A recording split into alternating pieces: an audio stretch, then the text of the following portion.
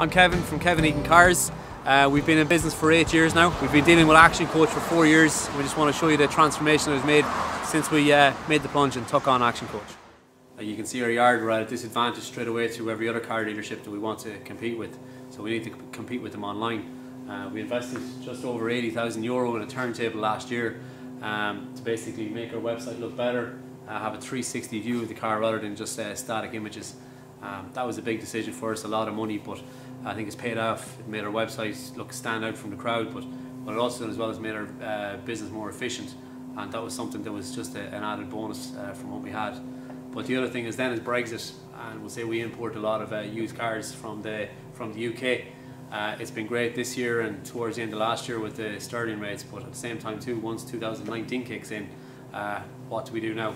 So I kind of had to make a decision: do I wait till 2019 or uh, do I bite the bullet and have a plan B now? So uh, we took on the Peugeot franchise. We couldn't have done all that without the planning and the help from General Action Coach as well. The biggest change I've seen in Kevin Egan Cars is I've gone from digital camera to an iPhone to a state-of-the-art 360 turntable. It's been absolutely incredible the growth in Kevin Egan Cars from, from this to being the first online in Ireland with the 360 to also the staff. I remember starting here there was four or five staff, we're up over 20 staff now. And you know what, we're only going to get bigger folks.